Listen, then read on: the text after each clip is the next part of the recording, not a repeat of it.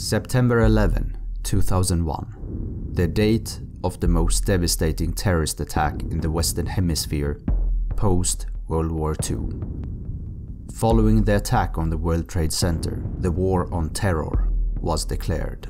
Consequently, Afghanistan and Iraq were victims of invasion and siege. The Middle East was set on fire and chaos became the new normal. The world was convinced that Saddam Hussein had weapons of mass destruction. They were right in a sense, but the weapon wasn't nuclear. It was something entirely different. A genetically engineered super soldier by the name Wahid, an underground secret experiment, El Najm El Wahid, funded by Saddam Hussein, intending on wreaking havoc in his aftermath. Wahid has the set of skills to work as an independent agent on hostile territory, and as a weapon of mass destruction, he is more than capable of inflicting unparalleled destruction.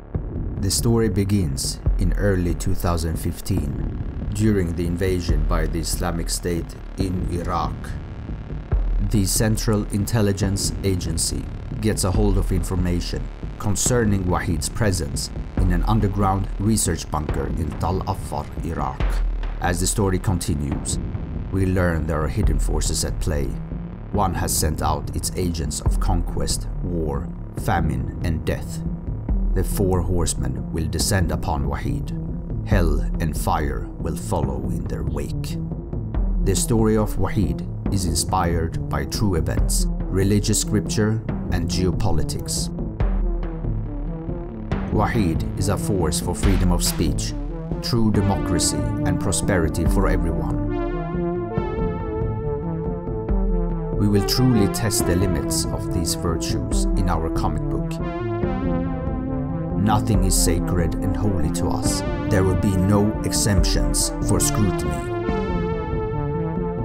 Support this war against those who seek to corrupt humanity.